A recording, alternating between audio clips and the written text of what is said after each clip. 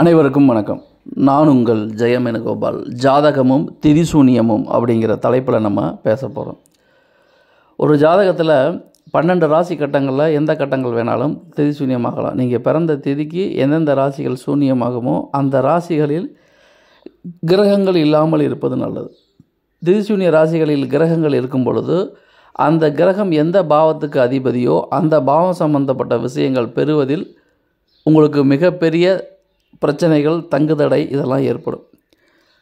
அப்போது திதிசூன்யத்தில் ஒரு கிரகம் மாட்டிக்கிட்டு அந்த கிரகத்துடைய தசையோ புத்தியோ நடக்குதுன்னு வச்சுக்கோங்க. கண்டிப்பாக நல்ல பலனை தரக்கூடிய கிரகமாக இருந்தால் திரிசூனியத்தில் மாட்டிக்கிட்டால் தீய பலனை தந்துடும் பொதுவாக ராகு கேதுக்கள் திரிசூனியத்தில் மாட்டிக்கிறது ரொம்ப நல்லது தான் பெரிய பாதிப்புகள் தராது. திதிசூன்யம்னா ஜீரோன்னு அர்த்தம் இருட்டு. அப்போ எந்த பாவம் பாதிக்கப்பட்டிருக்கிறதோ அந்த பாவத்தில் லக்னமோ ராசியோ விழுந்து விட்டால் ஜாதகருக்கு எந்த ஒரு செயலிலும் தொடர் தோல்வி தான் பிரச்சனை தான் சக்ஸஸ் பண்ணுறது ரொம்ப கஷ்டம்.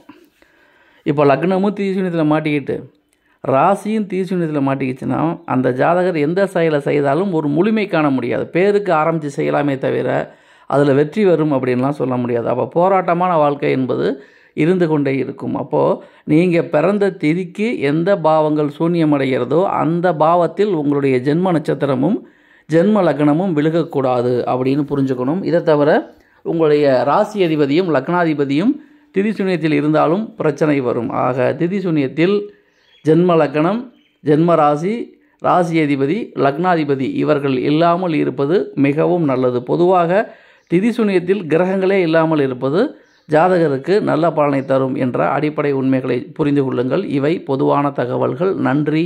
வணக்கம்.